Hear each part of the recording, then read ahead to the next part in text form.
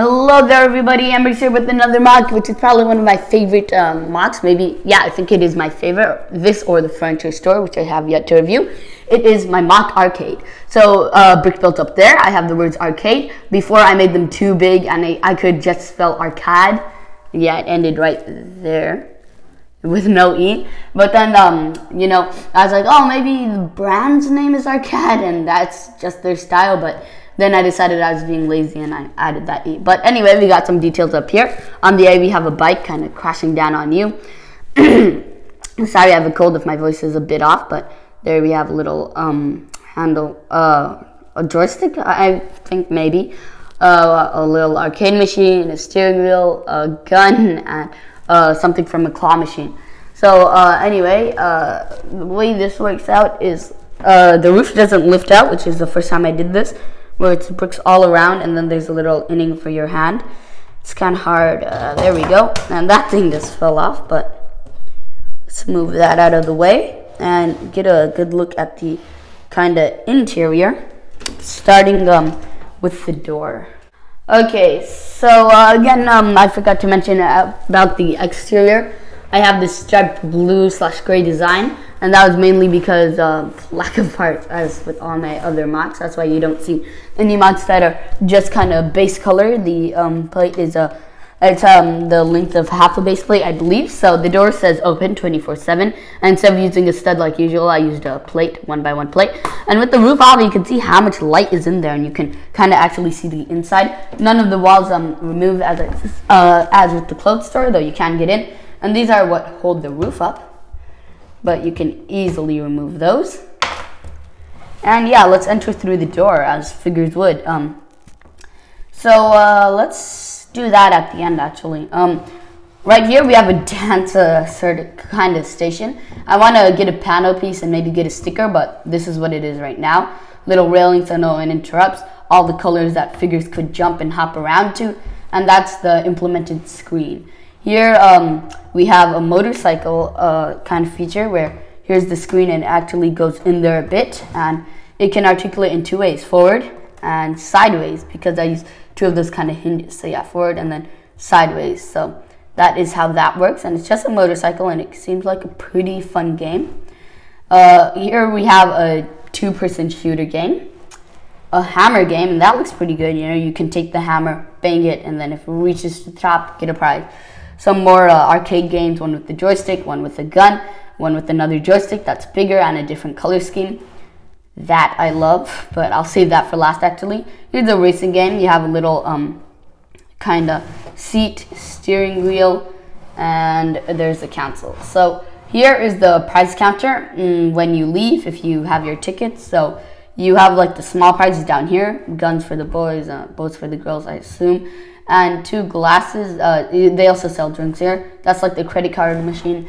And then you got all those figures from like a board game back there. But uh, there's one thing I didn't mention yet. Didn't forget, but just didn't mention. Um, all the arcade games do pull out by design. They're just like, again, I have a cold. They're just attached by like a stud or two. And this is a claw machine, so uh, be delicate with it. I remember this was really the hardest thing for me uh, to make. And yeah, it's also the hardest thing for me to take out. So I need both hands, so I'm to cut the camera. I forgot to mention that the figures are not um, uh, official. They're all custom. I make with my own parts. Um, not custom like that. Like uh, I take figures, take them apart, make new ones. But um, also they're not complete. I still need to add more. But this, this is the single most complex thing I have ever made a claw machine. The handle is separate, probably wired on the interior, but this, it's so great. So you can see the claw there. Sorry again, um, my cold, but uh, you have a lot of one by ones and circular and uh, studs and uh, that's sort of the prizes. You got the claw hanging in there, and um, I could only um, the, I started this like after I got Ninjago City, by the way, for time frame, and I got Ninjago City when it was fairly new, mm, the summer that it came out. So you got some lights up there, and uh, I'm just so happy with with how this turned out.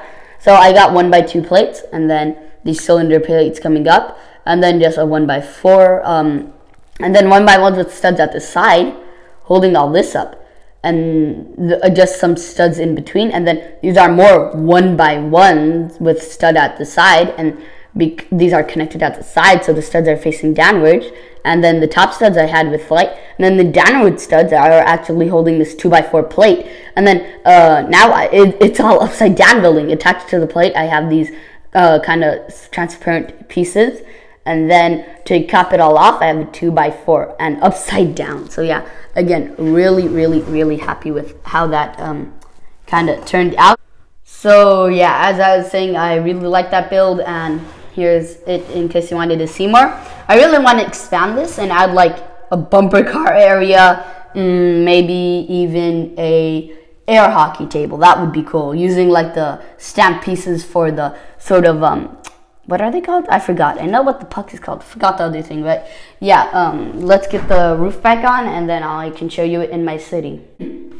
Okay, so as always, MOC in one hand, uh, camera in the other hand. Though this is fairly big. Maybe if I could help myself a bit. Right there, the motorcycle fell off. I could get that uh, later, but this is its home in the MOC, not connected by any plates or tiles. Like it's not uh, like those buildings. It's kind of on its own, and you can see I have a little sidewalk uh, place in front of it, and this little plant area back to a fair, which is probably the next next uh, thing I still got to do a video on. But yeah, that is it for this MOC. And actually, between the furniture store and this, I think that this still might be uh, my favorite MOC in my MOC city that I've done. Sorry, I'm just trying to connect the motorcycle. But yeah, that is it for this video. I hope you liked it. Please subscribe.